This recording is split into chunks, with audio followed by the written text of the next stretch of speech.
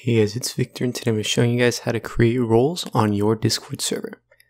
Now the first thing you're going to want to make sure is that you have admin or manager perms on your Discord server so that you can create roles. Now, once you're in your server, you're going to click on this button right here and go to server settings. Inside of here, you're going to want to click on roles and then create role. Now inside of here, you're going to have tons of different things you can adjust and I'll quickly go through them. So you're going to have the role name and role color. That's the color that will display next to the role, for example here. By default, it's gray. You can have a role icon as well if you want to upload one right here. And right here, you can display the roles from separately from the online members so that, for example, you have an admin or owner role, they will be at the top.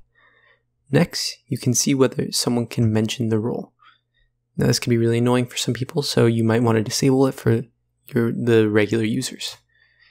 Now inside of permissions, you can manage the permissions that uh, this role can do. So for example, manage roles, you need this permission to create new roles.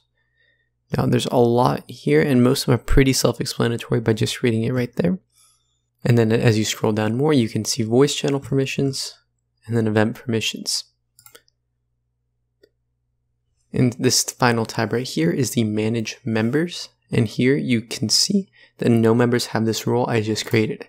Now I can add members, so I'll give myself this role, which was a new role. And if I escape here, click on it here, I can see the role here. If you have manage roles permissions, you can click it here to remove it. Now if this video worked for you and it helped you out, make sure to like and subscribe. Thank you for watching.